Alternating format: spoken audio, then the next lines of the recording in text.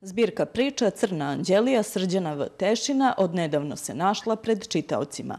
U 23 pripovetke autor se nostalgično vraća u detinstvo i u odrastanje u maloj sredini kroz prepoznatljivi realizam. Priče su potpuno različite, s obzirom na to da sam ja diplomirao na poetici kratke priče, onda mi je tako interesantno da malo istražujem različite forme.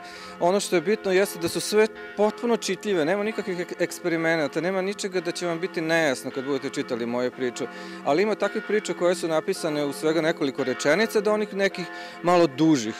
Književnik iz Kikinde, Rodni Mokrin, ponovo stavlja kao glavnu scenografiju svog pripovedanja. Ovoga puta u delo uvodi različite životinje, čije se sudbine prepliću sa ljudskim. Radnja je smeštena malo u Mokrine, malo u Beograd, malo u Beč, mesta gde sam živeo, eto to je.